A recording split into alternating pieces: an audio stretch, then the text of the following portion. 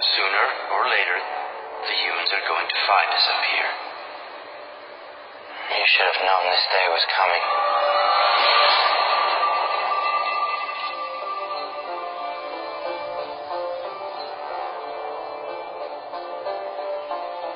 Are we supposed to follow our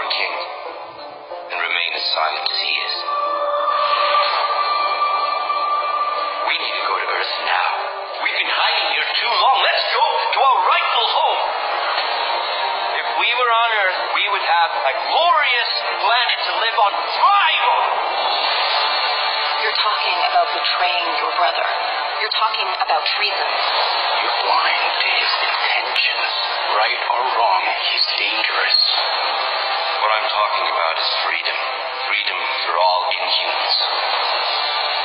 Are you going to use your voice to kill your only brother?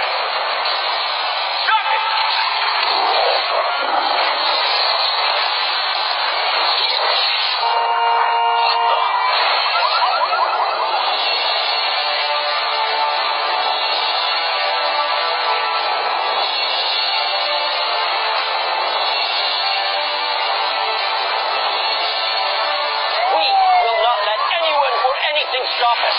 We will create our destiny.